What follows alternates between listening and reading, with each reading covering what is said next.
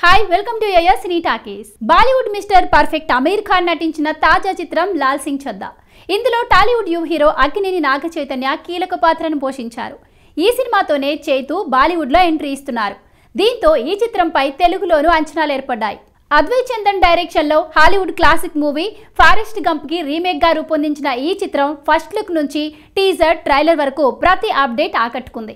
దీంతో అంచనాలు మరింత పెరిగాయి. దీనికి తోడు తగ్స్ ఆఫ్ హిందుస్థాన్ వంటి చిత్రం తర్వాత దాదాపు నాలుగు సంవత్సరాల సుదీర్ఘ విరామం తర్వాత అమీర్ చిత్రం థియేటర్లలో రిలీజ్ అవుతూ ఉండడంతో అతని అభిమానులు ఈ సినిమా కోసం ఆసక్తిగా ఎదురుచూస్తున్నారు.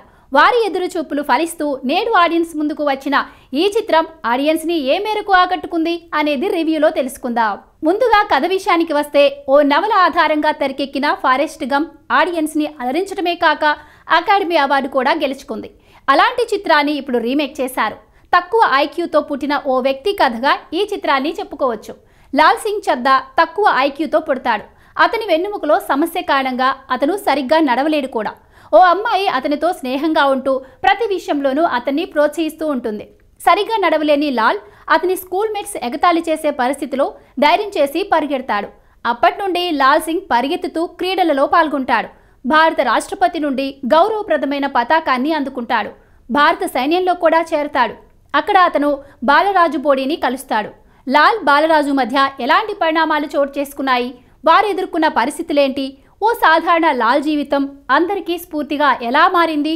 అనేది ఈ చిత్ర కథ ఇక సినిమా విశ్లేషణ విషయానికి వస్తే ఈ చిత్రాన్ని దర్శకుడు చాలా ఎమోషనల్ సీన్స్తో ప్రేక్షకుల హృదయాలను హత్తుకునేలా చేశాడని చెప్పొచ్చు.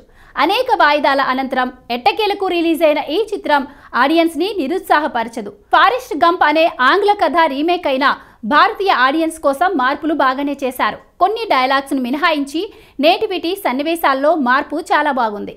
మేకర్స్ కథ యొక్క ఆత్మకు భంగం కలిగించకుండా ఒరిజినల్కు కట్టుబడి ఉండడానికి తనవంతు ప్రయత్నం చేశారు. భావోద్వేగాలతో ప్రేక్షకులను కట్టిపడేయడంలో విజయం సాధించారు. వాస్తవానికి ఈ కథలోనే ఎమోషన్ ఉంది. కాబట్టి ఇండియన్ ఆడియన్స్కి నచ్చే అంశాలు ఉన్నాయి. దానికి తోడు అమీర్ ఖాన్ వంటి నటుడు నటించటం ఈ కథకు మరింత బలాన్ని ఇచ్చింది. కొన్ని సీన్స్ సరదాగా సాగుతూనే ఎమోషన్ని పంచాయి. కథ బలం ఆధారంగానే మూవీ సాగుతూ ఆడియన్స్ని పూర్తి కథలో లీనమయ్యేలా చేసింది. అమీర్ ఖాన్ అత్యుత్తమ చలనచిత్రాల్లో ఇది కూడా ఒకటి. నాగ చైతన్య స్క్రీన్ ప్రెజెన్స్ తక్కువే ఉన్నా ఆకట్టుకునే సీన్స్ ఉన్నాయి. అంచనాలు ఎక్కువగా పెట్టుకోకుండా కూల్గా సినిమా చూడాలని అనుకునే వారికి నచ్చుతుంది.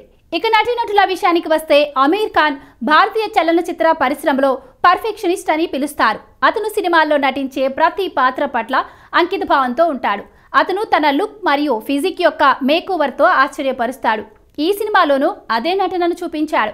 ఎమోషనల్ సీన్స్లో అమీర్ అద్భుతంగా నటించాడు.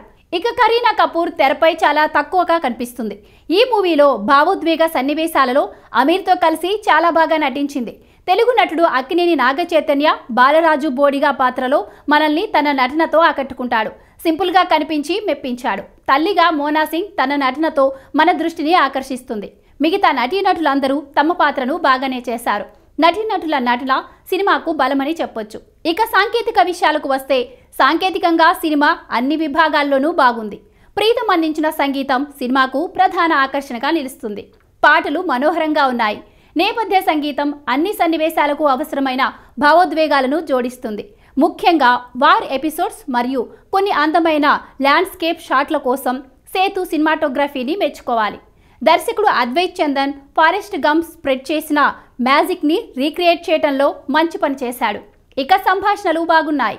ఇక నిర్మాణ విలువల గురించి ప్రత్యేకంగా చెప్పక్కర్లేదు. మొత్తంగా చూస్తే ఒరిజినల్ సినిమాలోని ఫీల్ని ఎక్కడా దెబ్బతీయకుండా మంచి మార్పులతో భారతీయ ఆడియన్స్ని అలరించడంలో లాల్ సింగ్ చద్దా చాలా వరకు సక్సెస్ అయినట్టే చెప్పాలి.